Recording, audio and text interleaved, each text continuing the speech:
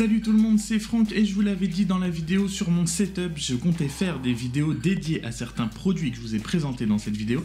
C'est aujourd'hui le cas pour le clavier, le clavier de Logitech MX Master pour Mac. C'est bien le pour Mac, il y a exclusivement les touches Mac dessus, ce n'est pas le clavier combiné avec les touches Microsoft et Apple. J'ai voulu prendre celui-là parce que j'ai un Mac, évidemment, mais aussi et surtout parce que celui combiné ça faisait vraiment grand charabia, n'importe quoi, le clavier était hyper encombré, on aurait dit des hiéroglyphes partout. Bref, à la base, je pensais opter et j'avais acheté un clavier officiel, un Apple Magic Keyboard, puisque bah, j'ai un Mac, je l'ai acheté en reconditionné, je l'ai reçu dans un état lamentable, il ne fonctionnait tout simplement pas. J'ai donc ne pas voulu me reprendre la tête à commander quelque chose comme ça, j'ai cherché des alternatives moins chères à un clavier pour Mac sans fil, c'est quasiment introuvable ou alors ça inspire pas forcément confiance. Et donc au final, j'ai choisi le Logitech malgré son prix. Et son prix, justement, m'a fait atteindre un niveau d'exigence et d'attente de ce clavier énorme, parce qu'il y a eu une hype énorme autour de ce clavier. Si vous cherchez, tout le monde va vous dire que c'est le meilleur clavier pour Mac. On va voir dans un instant, mais je pense que je suis d'accord. Et on va commencer tout de suite par son premier point fort, c'est son esthétisme. Il est très très beau. Il a une couleur gris sidéral qui se rapproche beaucoup de celle de mon MacBook. Ça fait très clean, c'est très joli. Je voulais un clavier noir, je ne voulais pas un clavier blanc puisque tout le reste de mon setup de mon bureau est noir sauf ma souris. Les matériaux sont très bons, il, a l'air extrêmement solide. De toute façon, c'est du Logitech et pour le prix, je m'attendais pas à autre chose, hein, évidemment, mais il s'adapte extrêmement bien sur mon bureau. C'est ce qu'on appelle un clavier low profile, il, ressort pas, il est très fin. Même le bord des touches sur les angles en haut et en bas sont ronds pour épouser la forme du clavier. Enfin bref, il est vraiment extrêmement joli. Vous avez même ici, on en reparlera un tout petit peu plus tard, mais sur les touches, vous avez une espèce de rond, c'est un petit peu enfoncé pour soi-disant bien positionner vos doigts et que ça épouse la forme de vos doigts. À l'œil nu, ça se voit quasiment pas à part si on s'approche très très près, mais c'est très agréable, c'est très pratique, c'est très beau. Bref, côté esthétisme, pas grand chose à dire dans tous les cas. Comme je l'ai dit, c'est un clavier Mac avec toutes les touches Mac et même donc les petits raccourcis qui vont vous servir à contrôler vos médias. La musique notamment, vous avez les touches play pause avant après. Vous avez les touches pour régler la luminosité, pour régler le rétroéclairage parce que oui, gros point fort, le MX pour Mac rétroéclairé, ce qui n'est pas le cas du clavier Apple que je souhaitais à la base. Donc on va dire que clairement là-dessus, ça peut paraître rien mais j'ai un clavier rétroéclairé depuis très longtemps sur mes MacBooks et mine de rien c'est très très agréable surtout quand on travaille avec peu de luminosité, notamment le soir et tout ça. C'est vraiment une petite touche en plus du MX Keys. On a donc aussi les touches raccourcies pour le Mission Control et le Launchpad sur Mac, ainsi que le pavé numérique. Je voulais un clavier et ma copine aussi avec un pavé numérique. Ça change la façon de taper, je vous avoue que je m'habitue encore un petit peu parce que du coup il faut que je... Voilà, j'ai pas encore la position idéale pour mes mains sur le clavier vu qu'il est assez long mais c'est quand même hyper hyper pratique d'avoir le pavé numérique et vous avez même trois touches de fonction en plus que sur le clavier Mac.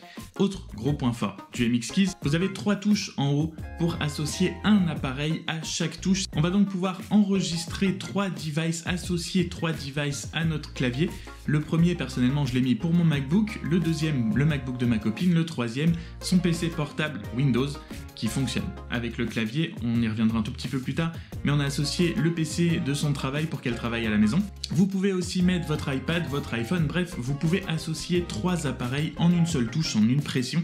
Vous pouvez passer d'un device à l'autre. C'est extrêmement pratique. Ça évite par exemple que quand j'utilise le clavier sur le bureau avec mon MacBook. Si ma copine passe juste derrière, pas besoin de retourner dans les préférences de Bluetooth pour reconnecter le clavier, il suffit juste de presser sur la touche qui est associée à votre ordinateur, votre iPhone, votre iPad, ce que vous voulez, et ça va se connecter automatiquement. Donc encore une fois, quelque chose qui n'est pas sur le Magic Keyboard que je voulais de base et qui fait que je ne regrette pas du tout mon choix d'avoir pris ce clavier-là, notamment si donc vous êtes plusieurs chez vous à utiliser le même clavier, ou si vous utilisez plusieurs appareils sur lesquels vous faites différentes choses et que vous voulez passer de l'un à l'autre rapidement.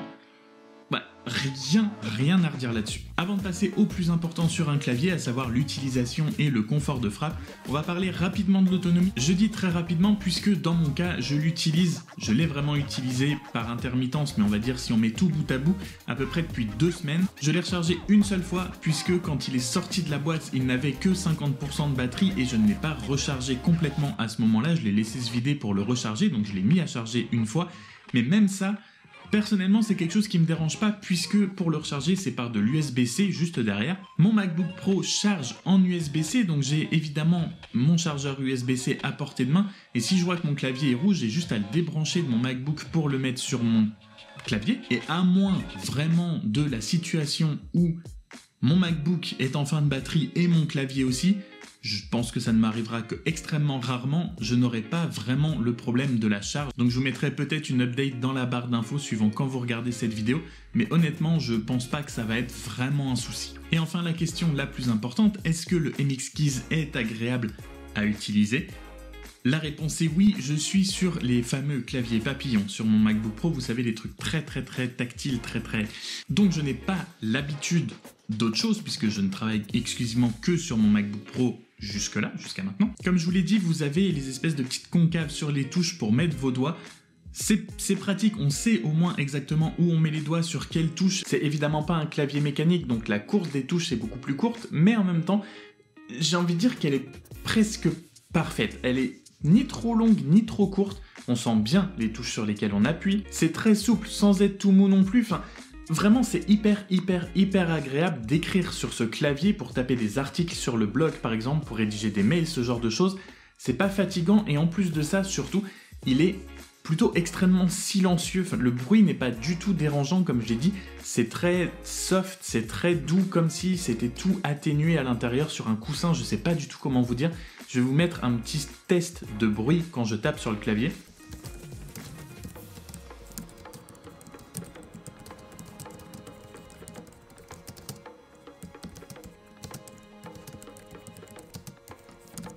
C'est un clavier avec des touches exclusivement pour Mac, je suis pas du tout perdu, j'ai toutes mes habitudes, je sais où sont mes touches, je sais où sont mes raccourcis, tout ça.